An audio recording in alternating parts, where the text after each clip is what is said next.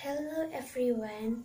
Today I gonna tell you a story Toba Lake. It's a story from uh, Sumatra North. Once upon a time there was a young man named Toba. He lived alone and had no wife. He decided being single and he didn't get married. Although he his age was mature and now to a family. He had a narrow farm and small hut formed from a lake. Uh, if the day was getting the dark, he could do activity until night has come. One day, after work on his small farm, he decided to go fishing. He wanted to look for some a long time, but his hook didn't catch any fish. Suddenly, his fish bait made some movement. He was sure he would get a fish for his dinner. And that was true pretty and big fish stuck on his bite. He took the fish and then put it on a fish basket. So happy to get a fish for a dinner because a fish pretty and big. Arriving at home, he put his fish beside the fireplace, but he realized that he forgot to look for some woods for his fireplace. Without, without, without the woods, of course, he could not cook the fish for his dinner. He went out to look for some woods. He left the fish in the kitchen. Uh, after getting some woods, he went back home. And but he was too surprised. The the fish was empty. The fish was gone. He left and he left found some skulls which in the form of gold pieces. Toba was confused.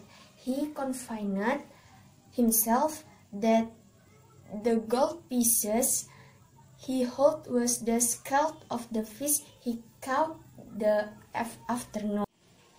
He was stepped to his room, but again he he shocked. He, he saw a beautiful girl with long hair, long hair in his room. The girl sat in the Toba's bed. Toba didn't make any movement. Hi Toba, it was getting dark. Could you turn on the lamp? Uh, alright, I will turn on the lamp. Don't be afraid, Toba. I will not hurt you. But who are you? Are you king of genie or something? I am the incarnation of the fish you caught afternoon. Good. That's true? Yes, but you don't have to be afraid. I will help you to do some household activity. I will cook for you and prepare your daily meal. Toba was accompanied by the girl.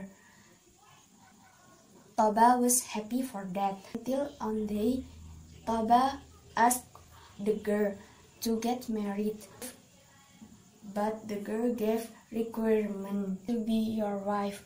But don't ever tell me my secret, my condition that I was fish, said the Toba agreed the girl's requirement and then they got married. Years gone by, Toba's wife was pregnant and not so long was gave birth. The baby was a boy named Samosir. They took care the only child. They showered the boy with love. It seemed that they were a happy family. The mother spoiled the boy too much.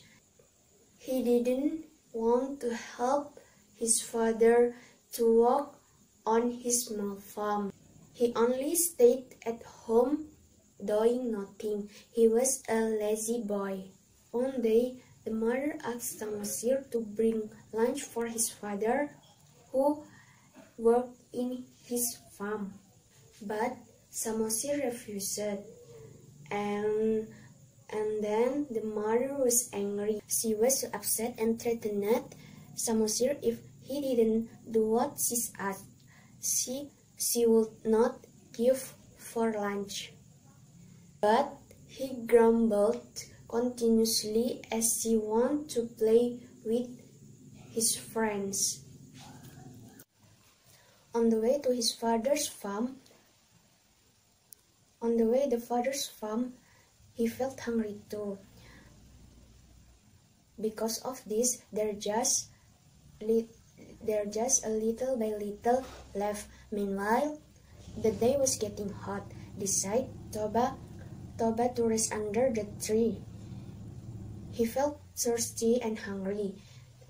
He asked himself why his wife didn't lunch for this. Arriving at home, he put his fish. He put his.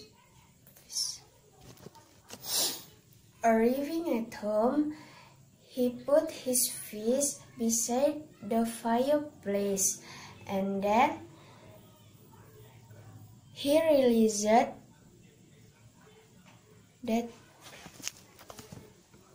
but he realized forgot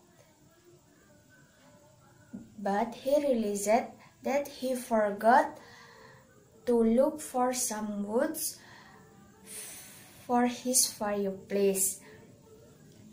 Without, without, without the woods, of course, he could not cook the fish for his dinner. Toba took the lunch quickly.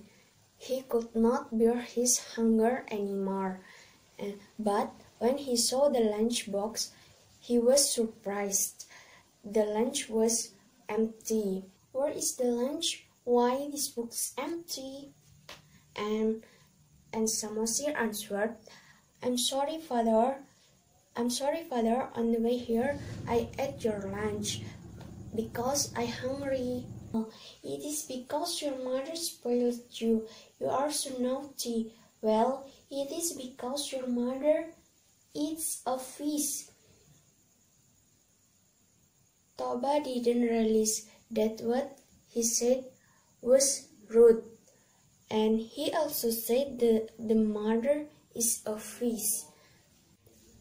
Samosir was so sad to hear this. He hurt. He cried continuously and and his mother asked why you cried and Samosir said that his father was angry to him it's because he ate his father's lunch. Samosir also told what his father had said to him. Father said, I, I Father said that I was a little animal because I didn't obey his advice and he also said that mother's a fish. But how excessive. He is was not supposed to tell that you. I will tell him. And the little girl really said. He thought that Toba didn't love her anymore.